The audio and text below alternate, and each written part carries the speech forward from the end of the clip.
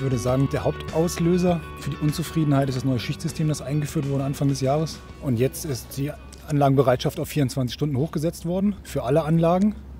Das Personal muss das decken und man hat das Gefühl nach einer gewissen Weile, dass man permanent nur noch da ist, um auf Bereitschaft zu sein. Das Telefon ist immer da. Man kann seine Wochenenden nicht mehr planen, man kriegt Schwierigkeiten mit der Familie.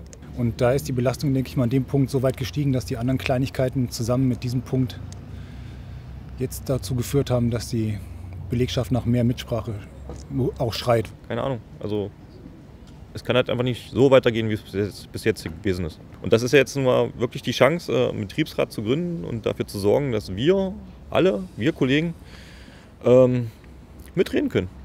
An der Stelle kann ich nur sagen, ohne IGM wäre es nicht so weit gekommen, sondern wir wären direkt am Anfang einen Bach runtergegangen und es wäre einfach so weiterlaufen wie vorher.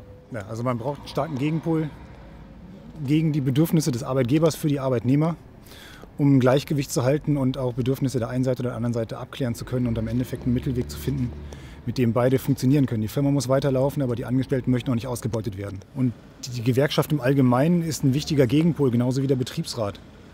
Schon immer in der Geschichte auch der Industrie. Also wenn alle hingehen und auch deutschlandweit eine Wahlbeteiligung von 80 Prozent zustande kommt, dann kann niemand die Leute entlassen oder einen einzelnen Namen rauspicken und sagen, du bist verantwortlich, oder? Ist so. Ich wäre auch fast äh, gewechselt, aber wie ihr seht, bin ich hier. Und ich bin nicht nur für mich hier, sondern auch für euch.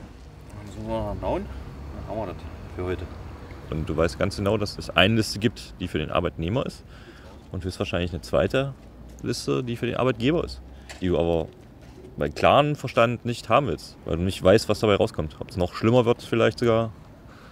Ich persönlich bin der Meinung, eine Wahl, eine Liste und ich denke, ihr alle seid genau der gleichen Meinung. Ist halt so.